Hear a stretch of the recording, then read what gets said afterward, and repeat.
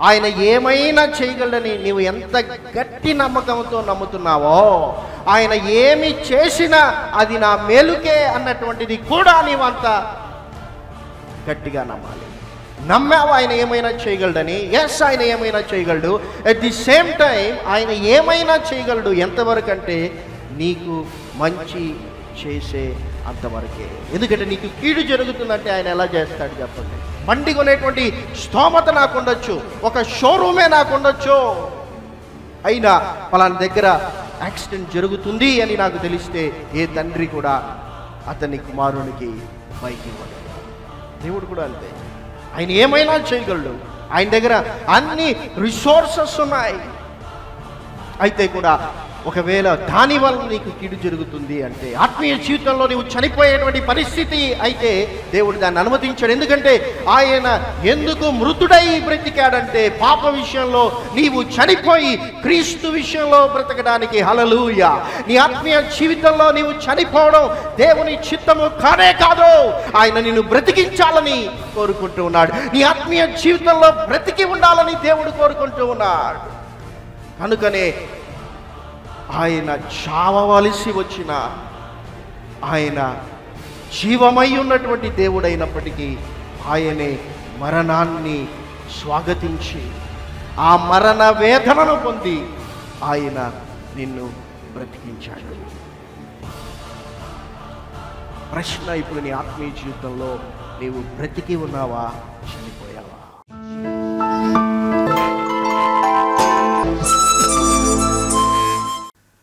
మన యొక్క ధ్యానాంశము ఏమిటంటే మృతులై బ్రతుకువారు బ్రతికి మృతులయ్యేటువంటి వారు. ఈ దినమందు దేవుడు స్మరణ సంఘపు దూతకు యోహాను ద్వారా ఏమి తెలియచేశాడో దానిని గురించి మనము ధ్యానించిన ఉంటున్నాం. ప్రకటన గ్రంథం రెండవ అధ్యాయము ఎనిమిదవ వచనము నుండి పదకొండవ వచనం వరకు మనము చూచినట్లయితే ఈ యొక్క సంఘమునకు దేవుడు చాలా క్లుప్తమైనటువంటి సందేశమునిచ్చినట్లుగా మనం చూస్తాం. సో ఈ యొక్క నాలుగు వచనములను వచనము వెంబడి వచనమును మనం ధ్యానిస్తూ ఐదు ప్రాముఖ్యమైనటువంటి విషయములను ధ్యానించిన ఉంటున్నాం. మొదటి వచనాన్ని చదువుదాం. ప్రకటన గ్రంథం రెండవ అధ్యాయం ఎనిమిదవ వచనం. స్మరణలో ఉన్న సంఘపు దూతకు ఇలాగు వ్రాయుము. మొదటివాడును కడపటివాడునై ఉండి మృతుడై మరలా బ్రతికినవాడు చెప్పు సంగతి లేవనగా మొదటివాడు కడపటివాడు. మృతుడై మరలా బ్రతికినటువంటి వాడు అని దేవుడు తన్ను తాను పరిచయం చేసుకుంటూ ఉన్నాడు. మన మొదటి ఆత్మీయ పాఠం ఏమిటంటే మన దేవుడు మృతుడై జీవించువాణిగా ఉన్నాడు. ఆయన మరణించాడు. అయితే ఆయన మరణాన్ని గెలిచి ఆయన పునరుద్ధానుడయ్యాడన్నటువంటి విషయాన్ని మనం మర్చిపోకూడదు. యేసు ప్రభువులు వారు జన్మించినప్పుడు సృష్టిలో మార్పు జరిగింది. ఆకాశంలో ఒక ప్రత్యేకమైనటువంటి నక్షత్రం వెలిగింది. యేసు ప్రభువులు వారు బాప్తిస్మము తీసుకున్నప్పుడు ఆకాశము తెరవబడి పరిశుద్ధాత్మ పావురము రూపములో ఆయన మీదకి దిగి వచ్చింది. యేసు ప్రభువులు వారు శిలువ మీద ఉన్నప్పుడు సృష్టిలో జరిగినటువంటి మార్పు ఏమిటంటే మధ్యాహ్నము మొదలుకొని మూడు గంటల వరకు ఆ దేశమంతా కూడా చీకటి కమ్మింది. ఆయన శిలువలో తన ప్రాణాన్ని విడిచినప్పుడు సృష్టిలో ఏం జరిగిందంటే భూమి వణికింది బండలు బద్దలయ్యాయి సమాధులు తెరవబడ్డాయి. ఆ సమాధిలో ఉన్నటువంటి పరిశుద్ధులు సజీవులుగా బయటికి వచ్చారని పరిశుద్ధ గ్రంథమైన బైబిల్ తెలియజేస్తూ ఉంది. ఆయన పునరుద్ధానుడైనప్పుడు కూడా పరలోకము నుండి దేవదూతలు దిగి వచ్చారు. సృష్టిలో మార్పు జరిగింది. ఏమిటదంటే మహా భూకంపము కలిగింది. యేసు ప్రభులు వారు జన్మించారు. ఆయన ఈ భూమి మీద జీవించారు. ఆయన శిలువలో చనిపోయారు. ఆయన తిరిగి మరణము నుండి లేచారు అనడానికి ఎవరో సాక్ష్యం చెప్పాల్సినటువంటి పని లేదు. సాక్షాత్తు ఈ యొక్క సృష్టి దానికి సాక్ష్యం. హలలుయ ఏ విధముగా అయితే ఆయన జన్మించినప్పుడు ఆయన భూమి మీద జీవించినప్పుడు ఆయన శిలువలో ఉన్నప్పుడు మరణించినప్పుడు పునరుద్ధానుడైనప్పుడు సృష్టిలో మార్పులు వచ్చాయో అదే విధముగా ఆయన తిరిగి మరలా సజీవునిగా ఈ యొక్క భూమి మీదికి వచ్చినప్పుడు కూడా సృష్టిలో మార్పులు జరుగుతాయి. హలలుయా అందుకే యేసు ప్రభుల వారు నేను వచ్చుటకు ముందుగా అనేకమైనటువంటి సంఘటనలు జరుగుతాయి. ఆకాశమందలి శక్తులు కదిలించబడతాయి. సూర్యుడు నలుపవుతాడు చంద్రుడు ఎరుపవుతాడు మహా భూకంపాలు కలుగుతాయి. సముద్ర ఘోష వలన అనేక మంది కలవరపడేటువంటి పరిస్థితిని ముందుగానే హెచ్చరించారు. ఆయన మృతుడైనటువంటి విషయం ఎంత వాస్తవమో ఆయన సజీవుడైనటువంటి విషయం అంతే వాస్తవం. ఆయన సజీవుడైనటువంటి విషయం ఎంత వాస్తవమో ఆయన తిరిగి మరలా తన సంఘాన్ని వచ్చి తీసుకొని వెళుతాడు అన్నటువంటి విషయం కూడా అంతే వాస్తవం. తొమ్మిదవ వచనాన్ని చదువుదాం. నీ శ్రమను దరిద్రతను నేను ఎరుగుదును అయినను నీవు ధనవంతుడవే. తాము యూదులమని చెప్పుకొనుచు యూదులు కాక సాతాను సమాజపు వారి వలన నీకు కలుగు దూషణ నేను ఎరుగుదును. నీవు పొందబో శ్రమలకు భయపడకుము. దేవుడు ఈ యొక్క స్మరణ సంఘముతో అంటూ ఉన్నాడు. నీ శ్రమను నేను ఎరిగాను నీ దరిద్రతను నేను ఎరిగాను నీ యొక్క దూషణను నేను ఎరిగాను యూదులని చెప్పుకునేటువంటి వారు ఉన్నారు కానీ వారు యూదులు కాకుండా సాతాను యొక్క సమాజంగా ఉన్నారు. నీవు వారు యూదులు కారని సాతాను సంబంధులని గుర్తించావు. అందును బట్టి వారి చేత నీవు దూషించబడ్డావు. ఈ యొక్క మూడు విషయాలను కూడా మనము కూడా కలిగి ఉండాలి అంటే మన యొక్క ఆత్మీయ జీవితంలో మనము ఎదుర్కొనేటువంటి శ్రమ కావచ్చు దరిద్రత కావచ్చు దూషణ కావచ్చు వీటిని కూడా దేవుడు చూచి నీ యొక్క శ్రమను దరిద్రతను దూషణను నేను ఎరిగి ఉన్నాను అని చెప్పాలి అంటే రెండవ ఆత్మీయ పాఠం ఏమిటంటే నీవు కూడా చనిపోయి బ్రతకాలి. మన దేవుడు మృతుడై బ్రతికినటువంటి వాడు. ఆయన ఏ విధముగా మృతుడై బ్రతికాడో అదే విధముగా మనము కూడా చనిపోయి బ్రతికేటువంటి వారిగా ఉండాలి. మన దేవుడు మన పాపముల నిమిత్తమై చనిపోయాడు. మనల్ని నీతిమంతులనుగా తీర్చుటకు చేయుటకు ఆయన తిరిగి లేపబడ్డాడు. అదే విధముగా మనము కూడా పాప విషయంలో చనిపోవాలి. క్రీస్తు విషయంలో బ్రతికించబడాలి. ఈ యొక్క మరణ పునరుత్నములు అన్నటువంటి అనుభవం ఒక క్రైస్తవునికి లేకపోతే ఆ క్రైస్తవుడు విశ్వాస జీవితంలో ముందుకు కొనసాగలేడు. ఎందుకు చాలామంది యేసు ప్రభుని నమ్ముకుని కొంతకాలం తర్వాత యేసు ప్రభుని వదిలిపెడుతూ ఉన్నారంటే ఎందుకు కొంతమంది యేసు ప్రభు పైన ఎంతో ఆసక్తిని కలిగి మొదట్లో కొంతకాలానికి ప్రార్థించడం మానివేసి బైబిల్ చదవడం మానివేసి దేవుని మందిరానికి రావడం నిలిపివేస్తూ ఉన్నారంటే వారి యొక్క ఆత్మీయ జీవితంలో మరణ పునరుద్ధానములు అన్నటువంటి అనుభవం లేదు. ఆ అనుభవం అన్నటువంటిది చాలా ప్రాముఖ్యమైనటువంటిది.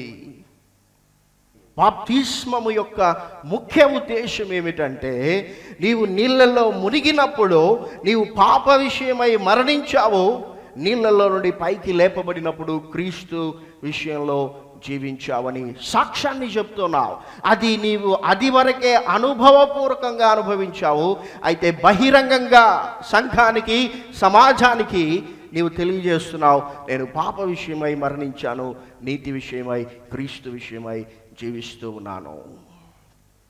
ఇక్కడ మూడు విషయాలు దేవుడు స్మరణ సంఘాన్ని గురించి అంటున్నాడు నీ శ్రమను నేను ఎరిగి ఉన్నాను. నీ శ్రమలో నీవు చనిపోవాలి నీ శ్రమలో నీవు బ్రతకాలి. శ్రమలో ఏ విధంగా చనిపోవాలంటే నీ శ్రమలో నీవు దేవుణ్ణి నిందించకుండా నీవు చనిపోవాలి.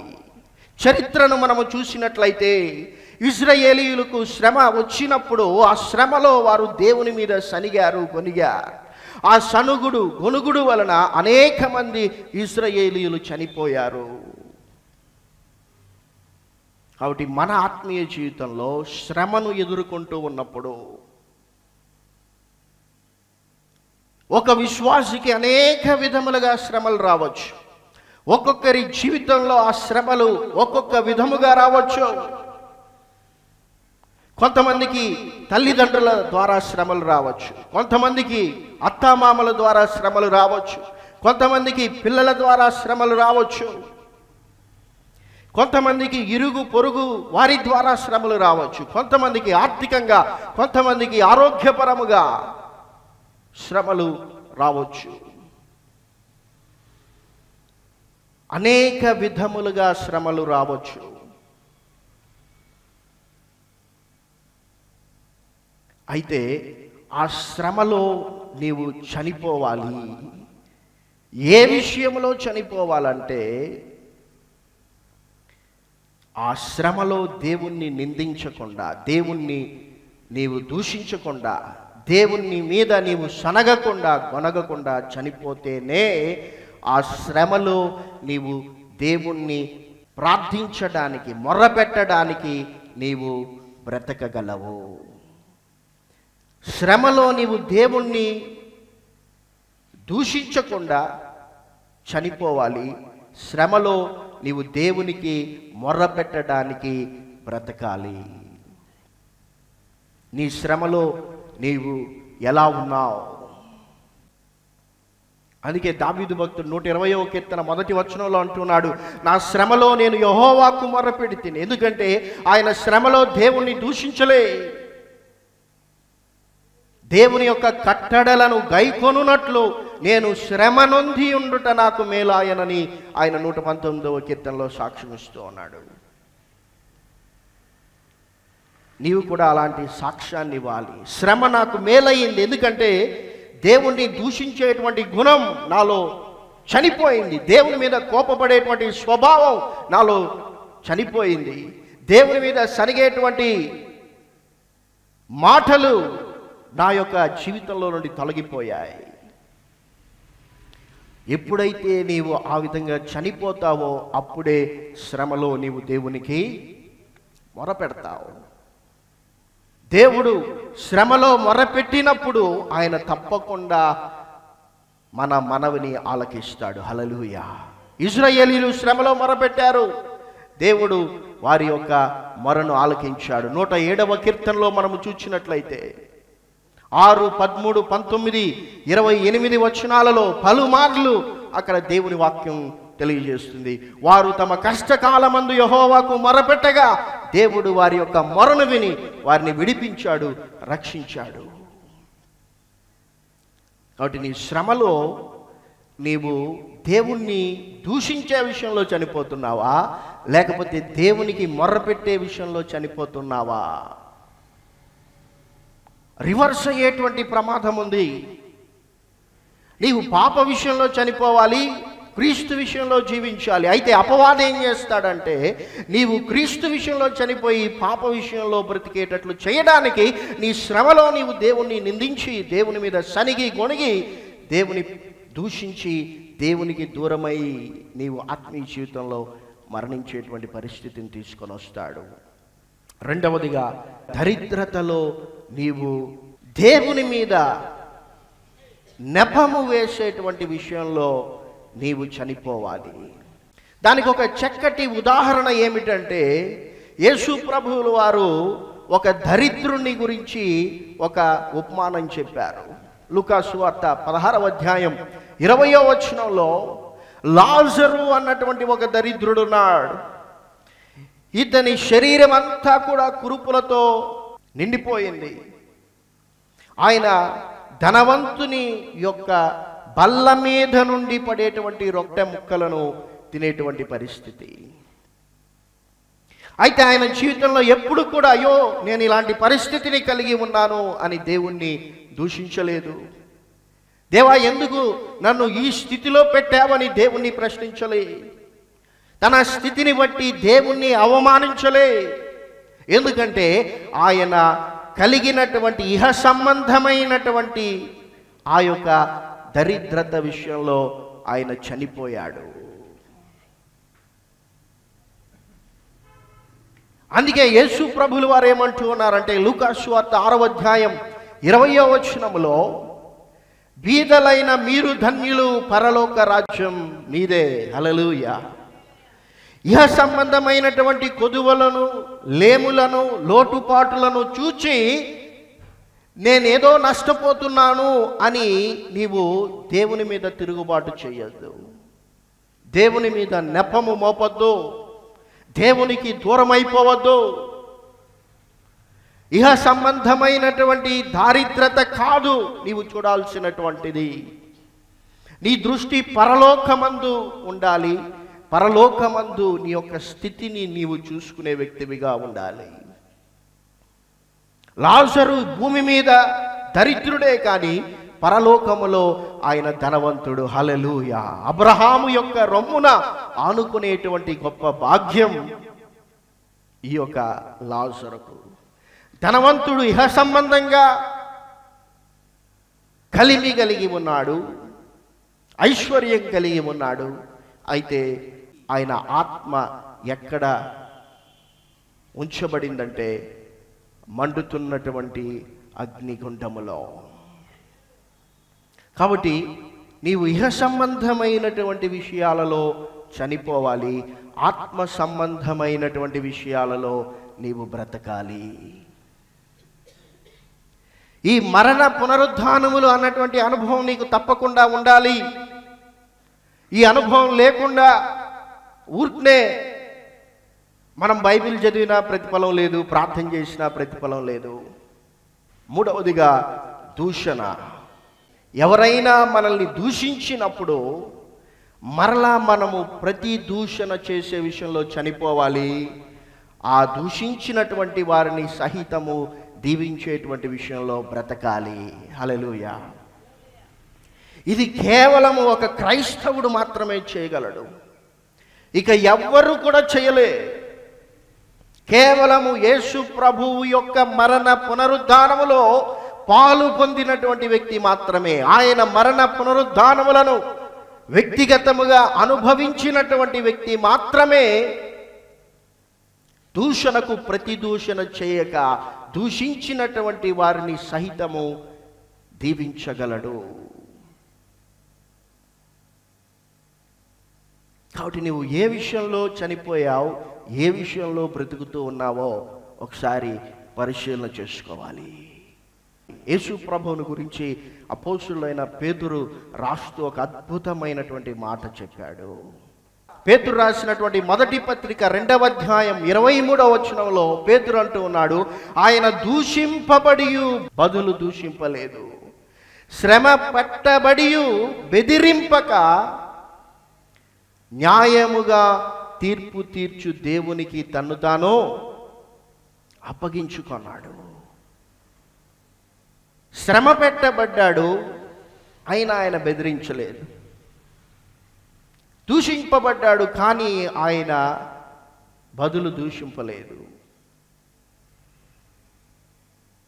ఎంత గొప్ప సాక్ష్యం.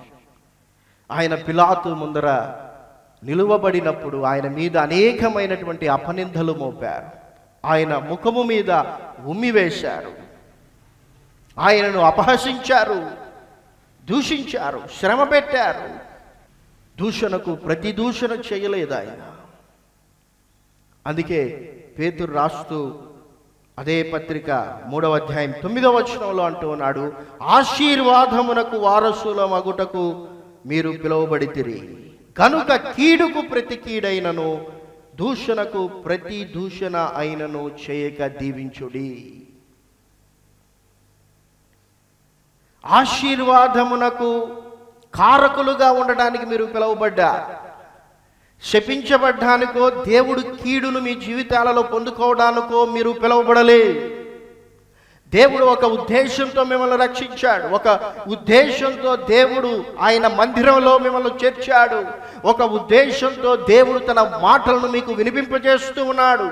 ఒక ఉద్దేశంతో మీరు ప్రార్థన చేయాలన్నటువంటి ప్రేరేపణను పరిశుద్ధాత్మ దేవుడు మీలో కలిగిస్తూ ఉన్నాడు. ఆ యొక్క ముఖ్య ఉద్దేశం ఏమిటంటే మీరు ఆశీర్వాదమునకు కారకులుగా ఉండటానికి పిలువబడ్డారు. అయితే మీరు నిజంగా ఆ పిలుపును గ్రహించి ఆ పిలుపుకు మీరు ప్రతిస్పందించే వారిగా ఉండాలంటే మీరు ఏం చేయాలంటే కీడుకు ప్రతి కీడు చేయకూడదు. దూషణకు ప్రతి దూషణ చేయకూడదు. ఇవి రెండు చేయకుండా ఉండడమే కాదు మూడవదిగా మీరు వారిని దీవించాలి. ఎంతమంది క్రైస్తవ కుటుంబాలలో ఇలాంటి వారు ఉన్నారు చెప్పండి.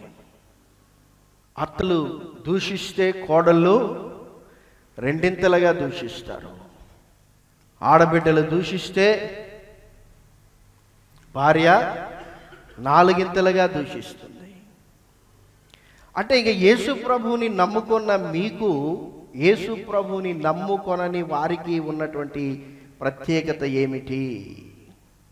ఏదో వాళ్ళ ఆయన క్రైస్తవుడు కాబట్టి ఈయన క్రైస్తవుడు అయిపోయాడు వాళ్ళ తాత సేవకుడు కాబట్టి ఈయన సేవకుడు. ఆయన ట్రెజరర్ కాబట్టి ఈయన ట్రెజరర్ కావాలని ఈయన క్రైస్తవుడు. దేనికి? ట్రెజరర్ కోసం సెక్రటరీ కోసం ఎల్డర్ కోసం క్రైస్తవుడు. క్రైస్తవుడు అంటే ఎవడంటే క్రీస్తు యొక్క మరణ పునరుద్ధానములలో పాలు పొందినటువంటి వాడే. ఆ అనుభవం నీకు రావాలి. పాప విషయంలో చనిపోవాలి. ఎప్పుడైతే నీవు పాప విషయంలో చనిపోతావో అప్పుడు నీ జీవితంలోనికి శ్రమ వస్తుంది. చాలామంది క్రైస్తవుల జీవితాలలో వచ్చేటువంటి శ్రమలు పాప విషయంలో చనిపోవటం వలన వచ్చేటువంటి శ్రమలు కాదు. పాపములో బ్రతుకుతూ ఉండుట వలన వచ్చేటువంటి శ్రమలు. ఇక్కడ దేవుడు ఆ స్మరణ సంఘానికి ఏం చెప్తున్నాడంటే నీవు పాప విషయంలో చనిపోయి నా విషయంలో బ్రతుకుటను బట్టి నీ జీవితంలోనికి వచ్చినటువంటి శ్రమను దరిద్రతను దూషణను నేను ఎరుగుదును. అసలు నీ జీవితంలో ఎందుకు శ్రమ వచ్చిందో ఎప్పుడైనా నీవు పరిశీలన చేసుకున్నావా? పాప విషయంలో చనిపోవటం వలన శ్రమ వచ్చిందా? పాప విషయంలో బ్రతుకుట వలన శ్రమ వచ్చిందా? పాప విషయంలో చనిపోవుట వలన నీవు దరిద్రతను పొందుకున్నావా? పాపములో జీవించుట వలన బ్రతుకుట వలన నీవు దరిద్రతను కొని తెచ్చుకున్నావా? పాపములో చనిపోవుట వలన నీవు దూషించబడుతున్నావా లేకపోతే పాపములో బ్రతుకుతూ ఉండుట వలన నీవు దూషించబడుతూ ఉన్నావా? దేవుణ్ణి విడిచిపెట్టి దేవుని ఆజ్ఞను అతిక్రమించినటువంటి నీ జీవితంలోని కూడా శ్రమ వస్తుంది. నీ ఇష్టానుసారంగా తాగేసి నీ ఇష్టానుసారంగా ధనాన్ని నీవు వేస్ట్ చేసినట్లయితే తప్పకుండా నీకు దరిద్రం అన్నటువంటిది వస్తుంది. నువ్వు యేసు ప్రభువును నమ్ముకొని కూడా లోకస్తుని కంటే నువ్వు భయంకరంగా జీవిస్తూ ఉంటే తప్పకుండా నిన్ను లోకం దూషిస్తుంది. అయితే ఆ శ్రమ వలన ఆ దూషణ వలన ఆ దరిద్రత వలన నీ ఆత్మీయ జీవితానికి ఏమీ ప్రయోజనం లేదు. యూదులని చెప్పుకుంటూ యూదులు కాకుండా వారు సాతాను సమాజంగా ఉన్నారు. అయితే నీవు వారు సాతాను సమాజమని గుర్తించావు. కాబట్టి నీ జీవితంలోనికి శ్రమ వచ్చింది. కాబట్టి నీ జీవితంలోనికి దరిద్రత వచ్చింది. కాబట్టి నీవు దూషించబడ్డావు. నీ యొక్క శ్రమను దరిద్రతను దూషణను నేను ఎరిగి ఉన్నాను. దేవుడు ఆ మాట చెప్పగలడా? నీ శ్రమను నేను ఎరిగి ఉన్నాను. నా కోసం నీవు నష్టపోయినటువంటి విషయాలను నేను లెక్కించాను. నేను లెక్కించాను.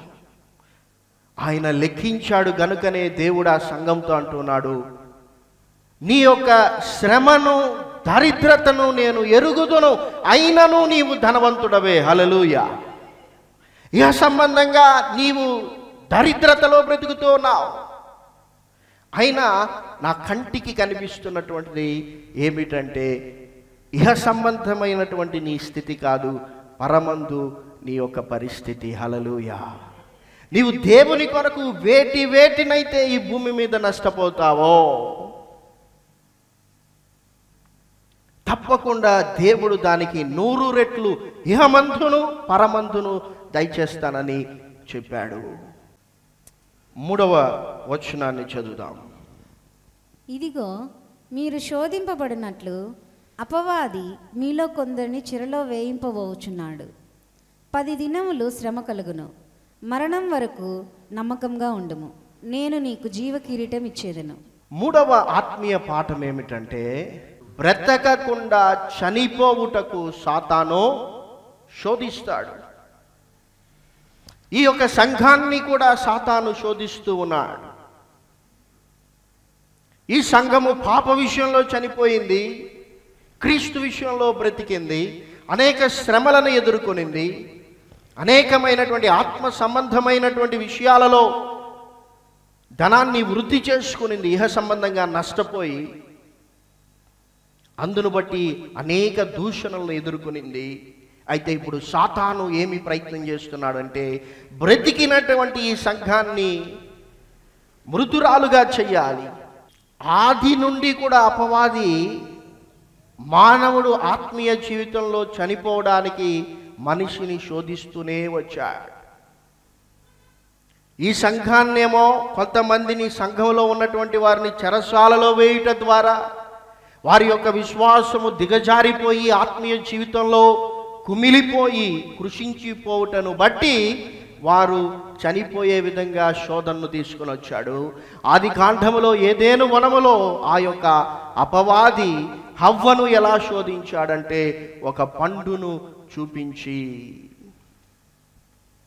దేవుడు తినద్దు అని చెప్పినటువంటి ఆ యొక్క మంచి చెడుల తెలివినిచ్చేటువంటి వృక్ష ఫలమును హవ్వకు చూపించి హవ్వను శోధించాడు. హవ్వ ఆ శోధనలో పడిపోయింది. ఎందుకంటే హవ్వకు మరణ పునరుత్నముల అనుభవం లేదు. కాబట్టి మనలో కూడా అనేక మందిని అనేక విధాలుగా సాతాను శోధిస్తూ ఉంటాడు. ఎందుకంటే వాని యొక్క మెయిన్ ఎయిమ్ ఏంటంటే నీవు మృతుడవై మళ్ళా బ్రతకకూడదు.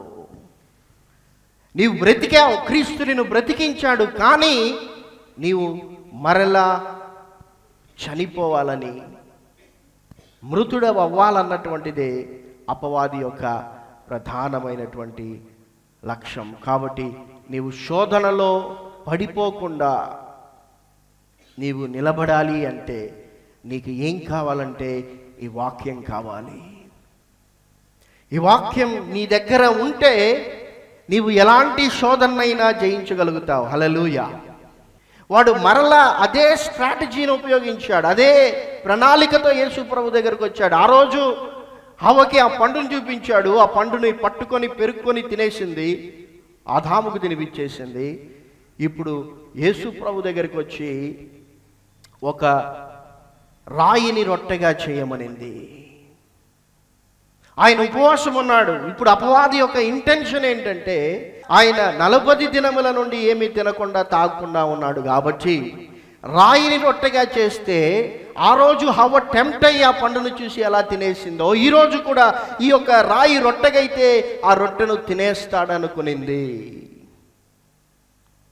అయితే దేవుని దగ్గర వాక్యం ఉంది. హలలుయా కాబట్టి ఆయన అన్నాడు మనుషుడు రొట్టె వలన మాత్రము కాదు కానీ దేవుని నోట నుండి వచ్చు ప్రతి మాట వలన జీవించునని రాయబడి ఉన్నది. మొత్తం స్వార్త నాలుగవ అధ్యాయం నాలుగవ వచ్చినాం మన ఆత్మీయ జీవితంలో కూడా మనము చనిపోవునట్లుగా అపవాది శోధనను తీసుకొని వస్తూ ఉంటాడు. చనిపోకుండా మనము బ్రతకాలి అంటే ఈ జీవము కలిగినటువంటి వాక్యము ఉండాలి మనలో ఉండాలి మన దగ్గర ఉండాలి. నాలుగవ ఆత్మీయ పాఠం రెండవ భాగాన్ని చదువుదాం. పదవ వచనంలో మరణము వరకు నమ్మకముగా ఉండుమో నేను నీకు జీవ కిరీటం ఇచ్చేదను. నాలుగవ ఆత్మీయ పాఠం ఏమిటంటే మనము మరణించి బ్రతకాలి అంటే మరణము వరకు నమ్మకంగా జీవించాలి. హలలుయ ఆయన క్లియర్గా చెప్పాడు. ఏం చెప్పాడు? పది దినములు నీకు శ్రమ కలుగుతుంది. కాబట్టి ఈ పది దినములు నీవు నమ్మకంగా బ్రతకమని దేవుడు చెప్పడం లేదు. నీకు ఏమి శ్రమ కలుగుతుందో ఎంతకాలం కలుగుతుందో దేవుడు చెప్తున్నాడు కానీ నమ్మకముగా మాత్రం ఎంతవరకు జీవించాలంటే మరణము వరకు జీవించాలి. అయితే మన యొక్క విశ్వాసం ఎట్లంటే ఈ కష్టం పోయే వరకు నమ్మకంగా బ్రతుకుతాం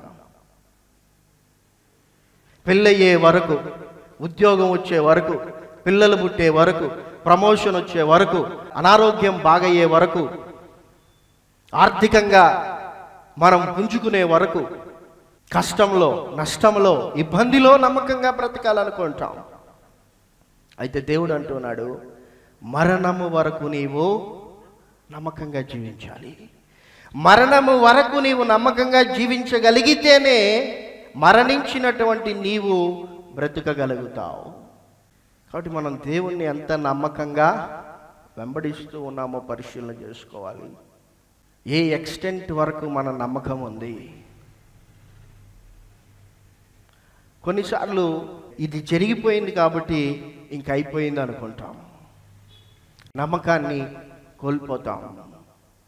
ఇంకా ఛాన్స్ లేదనుకుంటాం. ఇంకా చెయ్యి దాటిపోయింది అనుకుంటాం. అయితే దేవుడు అంటూ ఉన్నాడు నమ్మిక మాత్రం ఉంచు చాలంతే. అపనమ్మిక అవసరం లేదు నీకు. ఎందుకంటే ఆయన ఏమైనా చేయగలడు. హలలుయ ఆయన ఏమైనా చేయగలడు.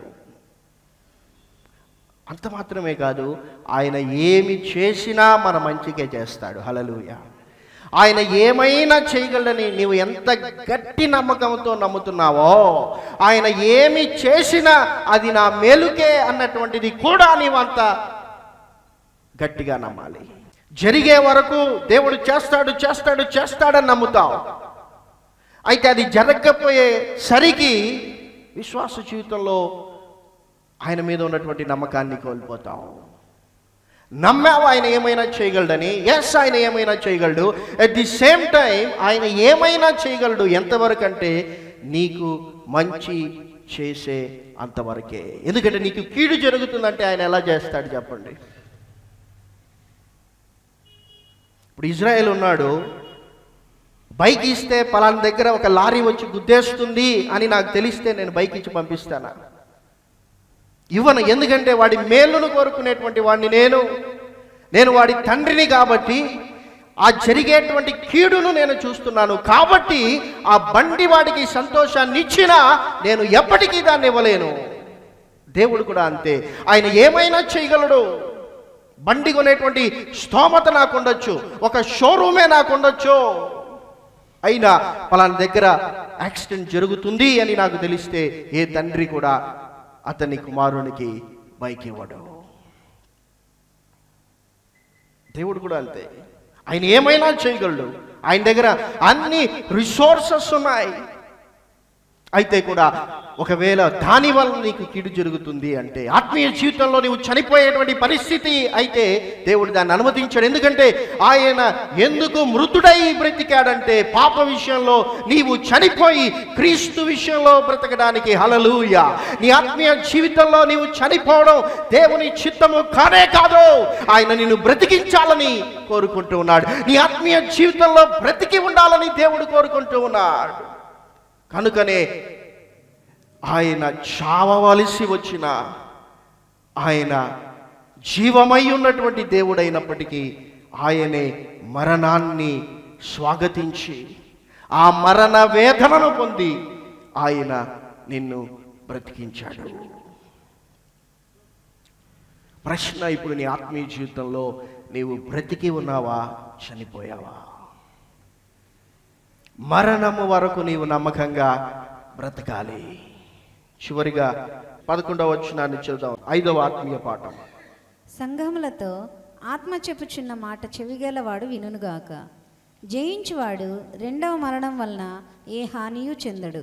రెండు బ్లెస్సింగ్స్ దేవుడు చెప్తున్నాడు స్మరణ సంఘముతో. ఒకటి ఏంటంటే నీవు అంతము వరకు అనగా మరణము వరకు నమ్మకంగా జీవిస్తే నీకు జీవ కిరీటం వస్తుంది. రెండవదిగా నీ ఒకవేళ నేను చెబుతున్నటువంటి విషయాలకు చెవి యొగ్గి నీ యొక్క ఆత్మీయ జీవితాన్ని వాక్య ప్రకారం సరి చేసుకున్నట్లయితే రెండవ మరణము వలన నీకు ఏ హాని కూడా కలగదు. మొదటిగా జీవ కిరీటంను గురించి చూద్దాం. ఈ యొక్క జీవ కిరీటం అన్నటువంటిది శోధన సహించినప్పుడు దేవుడు తన్ను ప్రేమించు వారికి ఇచ్చేటువంటిదని యాకోబు రాస్తూ తెలియజేస్తూ ఉన్నాడు. అంటే ఇంకా నీ జీవితంలో మరణము లేదు నీకు. జీవ కిరీటాన్ని దేవుడు నీకు ధరింపజేస్తాడు. ఇక్కడ రెండవదిగా ఆయన అంటున్నటువంటి విషయం ఏంటంటే రెండవ మరణం అన్నటువంటిది ఉన్నది. అందులో మొదటి మరణం ఏమిటంటే సహజమైనటువంటి మరణం. నీ యొక్క ఆత్మ నీ యొక్క శరీరాన్ని విడిచి వెళ్ళేటువంటిది మొదటి మరణం. అది అందరికీ తెలుసు. మన తాతలు చనిపోయారు మన అవ్వలు చనిపోయారు. మన కనులారా చూచాం ఆ మరణం ఎట్టిదో. అయితే మరొక మరణం ఉంది. ఈ యొక్క మరణం ఏమిటంటే అగ్ని గుంఢములోనికి పడద్రోయబడేటువంటిది. ప్రకటన గ్రంథం ఇరవై అధ్యాయం. పద్నాలుగో వచనంలో దేవుని వాక్యం తెలియజేస్తుంది. ఈ అగ్నిగుంఠము రెండవ మరణము. ఎవరి పేరైతే జీవ గ్రంథంలో రాయబడలేదో ఎవరైతే ఆత్మీయ జీవితంలో మృతులుగా మిగిలిపోయారో అట్టివారు అగ్నిగుంఠములో పడద్రోయబడతారు. ఈ యొక్క అగ్నిగుంఠము రెండవ మరణము. ఈ యొక్క రెండవ మరణము ఎంత భయంకరమైనటువంటిదంటే మొదటి మరణములో నీవు చనిపోయినటువంటి తరువాత కొంతమంది కట్టెల మీద పెట్టి నిన్ను కాల్చేస్తారు. అప్పుడు నీకు ఏ నొప్పి తెలియదు ఎందుకంటే నీలో ఆత్మ లేదు కాబట్టి. నీ ఆత్మ నీ శరీరాన్ని వదిలి వెళ్ళిపోయింది కాబట్టి ఆ యొక్క శరీరాన్ని అగ్నిలో కాలుస్తూ ఉన్నారు. అయితే రెండవ మరణం ఏంటంటే మండుతున్నటువంటి అగ్నిలో ఆత్మ కాల్చబడ్డమే. ఈ యొక్క భూమి మీద చనిపోయినటువంటి వ్యక్తిని ఏ విధముగా కట్టెల మీద కాల్చి దహించి వేస్తూ ఉన్నటువంటి విషయం వాస్తవమో నీవు చనిపోయినటువంటి తర్వాత నీ పేరు జీవ గ్రంథంలో రాయబడకపోతే ఆత్మీయ జీవితంలో నీవు చనిపోతే నీ ఆత్మ కూడా అగ్నిగుంఠములో వేయబడ్డం అంతే వాస్తవం. ఈ యొక్క రెండవ మరణం వల్ల నీకు ఏ హాని జరగకుండా ఉండాలంటే నీవు ఆత్మీయ జీవితంలో జయించాలి. చాలామంది ఆత్మీయ జీవితాలలో ఆత్మహత్య చేసుకుంటూ ఉన్నారు. కొంతమంది ఈ లోకంలో ఎలా బ్రతకాలో వారికి ఉన్నటువంటి సమస్యల నుండి ఎలా బయటికి రావాలో తెలియక వారు ఆత్మహత్య చేసుకుంటూ ఉంటే ఆత్మీయ జీవితంలో కొంతమంది విశ్వాసులు ఆత్మహత్యలు చేసుకుంటూ ఉన్నారు. అందుకే దేవుడు అన్నాడు నీవు ఆత్మహత్య చేసుకోకూడదు. నీ ఆత్మీయ జీవితాన్ని నీవు ఆత్మహత్య చేసుకోకూడదు. ప్రభా ఇక నా వల్ల కాదు. నేను నేను వెంబడించలేనని నీవు వెనుకకు తిరగకూడదు. నీవు జయించాలి ఈ ఆత్మీయ జీవితంలో. నీవు జయించగలిగితే రెండవ మరణము వలన నీకు ఏ హాని కూడా లేదు. ఎవరు ఈ యొక్క రెండవ మరణములో పాలు పొందుతారు అంటే ఎనిమిది మందిని గురించి అక్కడ చెప్పబడింది. ప్రకటన గ్రంథం ఇరవై ఒకటవ అధ్యాయము ఎనిమిదవ వచ్చిన మొదటిగా పిరికివార్.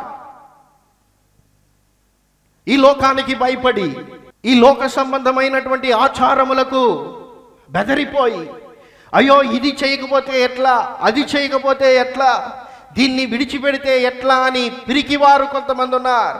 దేవుని కోసము నిలబడనటువంటి వారు లోకానికి భయపడేటువంటి వారు.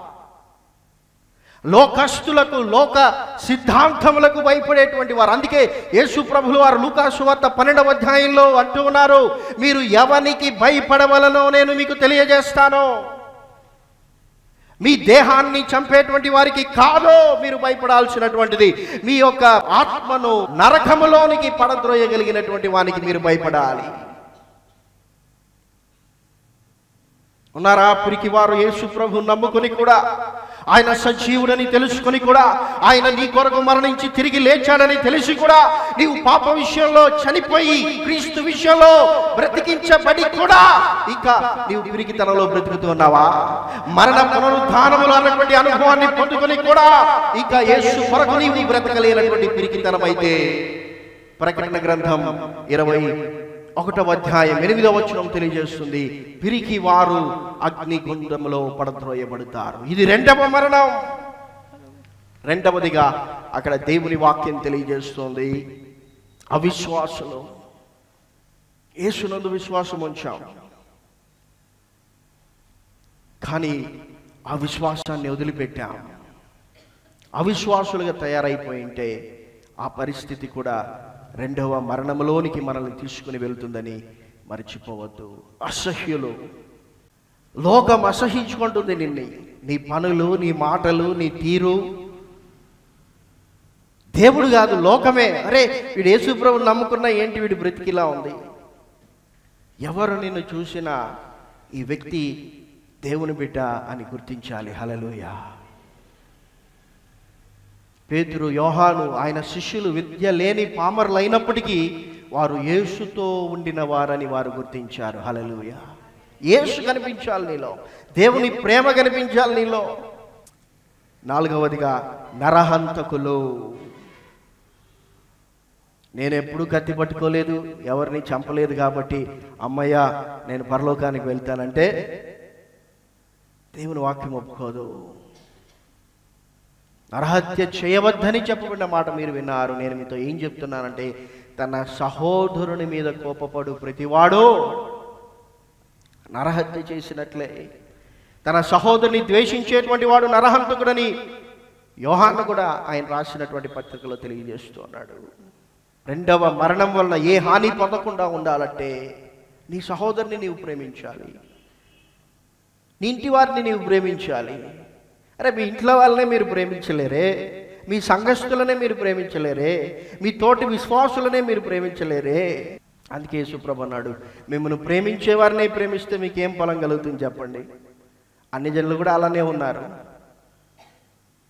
కాబట్టి మీరు శత్రువులను ప్రేమించే అనుభవంలోనికి రావాలని యేసుప్రభులు వారు చెప్తున్నారు. ఐదవదిగా వ్యభిచారులు. అమ్మా నాకు ఎలాంటి అక్రమ సంబంధాలు లేవని చెప్పుకోవడానికి లేదు. యేసుప్రభు అన్నారు ఒక స్త్రీని మోహపు చూపుతో చూచు ప్రతివాడు అప్పుడే తన హృదయం ఉంది. ఆమెతో వ్యభిచారము చేసిన వాడగును. యేసుప్రభు నమ్ముకున్న తర్వాత నీ చూపులు కూడా మార్చబడాలి. పైన వైట్ షర్టే కాదు చేతిలో బైబిలే కాదు మెడలో సిలువే కాదు ఇంటి మీద స్టారే కాదు ఇంటి మీద సిలువే కాదు. నీ చూపులు కూడా మార్చబడాలి. నీ ఆలోచనలు మార్చబడాలి. అదే యేసుప్రభు అన్నాడు నీవు కత్తి పట్టుకొని నీ సహోదరుని చంపాలి అంటే దానికి ముందు ఆలోచన నీలో వస్తుంది. కాబట్టి ఆలోచనే తప్పు. ఆలోచనే నీవు తీసి వేసుకోమని తీసి పారవేయమని యేసుప్రభు చెప్తున్నాడు. నీవు వ్యభిచారం చేయవద్దు. వ్యభిచారం చేయాలంటే మొదటిగా నీ యొక్క చూపులు మార్చబడాలి. కాబట్టి యేసుప్రభు నమ్ముకున్న తర్వాత ఇలాంటి మార్పును దేవుడు మనలో కోరుతున్నాడు. మనం అన్నీ కూడా అవుట్వర్డ్ మార్పులు చూస్తూ ఉన్నాం. ఒకప్పుడు గుడిసెలో ఉన్నాం ఇప్పుడు బిల్డింగ్లోకి రావాలి. ఇప్పుడు బిల్డింగ్లో ఉన్నాం ఇప్పుడు డూప్లెక్స్లోకి రావాలి. డూప్లెక్స్లో ఉన్నాం ఇప్పుడు ఎక్కడికి రావాలి? ఫామ్ హౌస్లోకి రావాలి. ఒకప్పుడు సైకిల్ ఉండింది ఇప్పుడు బైక్ రావాలి బైక్ ఉండింది కార్ రావాలి కార్ ఉంది. ఇవే చూస్తున్నా కానీ అసలు నీ అంతరంగంలో ఏం మార్పు వచ్చింది? మాంత్రికులు విగ్రహారాధికులు అబద్ధికులు అగ్ని గంధకములతో మండు గుండములో పాలు పొందుదురు. ఇది రెండవ మరణం. ఆ రెండవ మరణము నుండి మనల్ని తప్పించడానికే క్రీస్తు మన కొరకు మరణించాడు.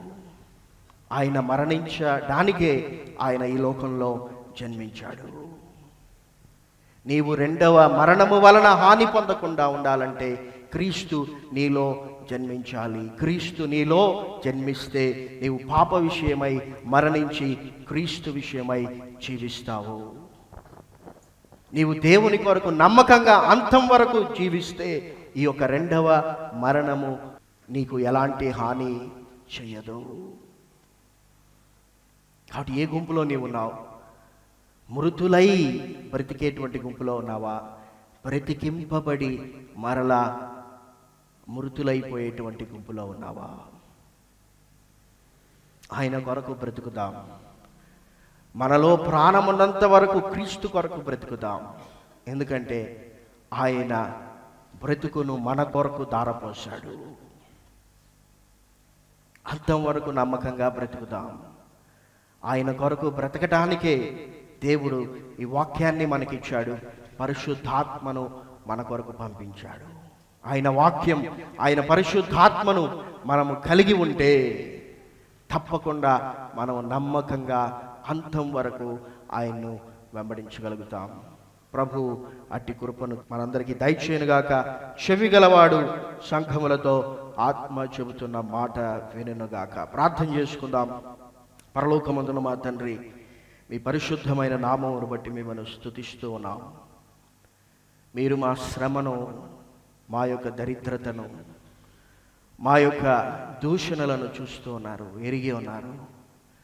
నాయన మేము మీ కొరకు బ్రతికి శ్రమ పడ్డానికి మీ కొరకు ప్రభా బ్రతికి మేము నష్టపోవడానికి మీ కొరకు బ్రతికి ప్రభా మేము దూషింపబడిన ఆత్మీయ జీవితంలో మాత్రం చనిపోకుండా ముందుకు వెళ్ళడానికి సహాయం చేయండి. మరణము వరకు ప్రభా మీ కొరకు బ్రతకడానికి నమ్మకంగా బ్రతకడానికి సహాయం చేయండి. ఏమి జరిగినా జరగకపోయినా మేము అనుకున్నవి జరిగినా జరగకపోయినా మీకు నమ్మకంగా బ్రతకాలి. మేము మరణించకూడదు నాయన మా ఆత్మీయ జీవితంలో. మేము మరణించకూడదనే కదా మీరు మరణించారు మా స్థానంలో. మమ్మల్ని జీవింప చేయడానికే కదా మరలా మీరు పునరుత్డై. మీ జీవ కిరీటమును మేమంతరము ధరించుకుని వారమై. మీతో నిత్యము జీవించేటువంటి గొప్ప కృపను మా అందరికీ దయచేయమని యేసు క్రీస్తు నామమును ప్రార్థించుచున్నాను తండ్రి. ఆమె